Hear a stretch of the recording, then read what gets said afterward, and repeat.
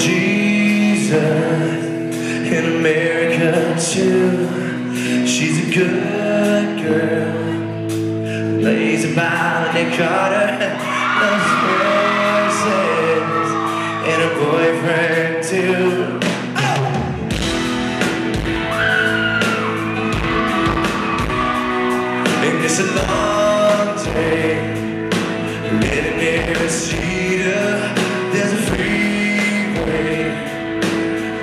it.